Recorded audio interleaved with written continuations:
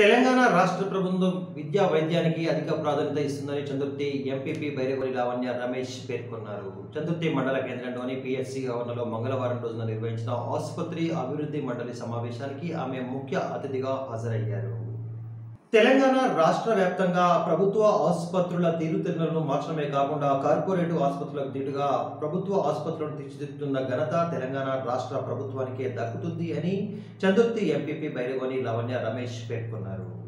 మంగళవారం రోజున చందుర్తి పిహెచ్సి ఆవరణలో నిర్వహించిన ఆసుపత్రి అభివృద్ధి సమావేశానికి ఆమె ముఖ్య అతిథిగా హాజరయ్యారు. ఈ సందర్భంగా ఆమె మాట్లాడుతూ మండలంలోని అన్ని గ్రామాలలో ప్రాథమిక ఆరోగ్య ఉప కేంద్రాలతో పాటు ప్రత్యేకంగా అంబులెన్స్ను ఏర్పాటు చేశామని ఆసుపత్రిలో నిర్వహిస్తున్న అన్ని సౌకర్యాలను ప్రజలు సద్వినియోగం చేసుకోవాలని కోరుతూ ప్రాథమిక ఆరోగ్య కేంద్ర అభివృద్ధిపై పలు సూచనలు చేశారు.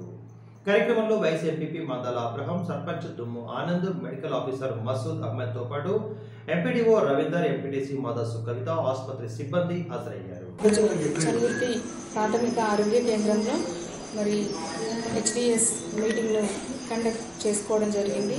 మరి ఈ కార్యక్రమంలో హాస్పిటల్కు కావలసిన మన పలు అభివృద్ధి అంశాలను కూడా ఈరోజు చర్చించుకోవడం జరిగింది. మరి దీనిలో పాల్గొన్నటువంటి మన స్థానిక సర్పంచ్ గారికి అదేవిధంగా రామన్నపేట సర్పంచ్ గారికి వైస్ ఎంపీపీ గారికి గౌరవ డాక్టర్ మసూద్ మసూద్ గారికి మన ఎంపీడీఓ గారికి సూపరింటెండెంట్ గారికి ఎన్గల్ ఎంపీటీసీ మాధవ్ కవిత గారికి venne a avere delle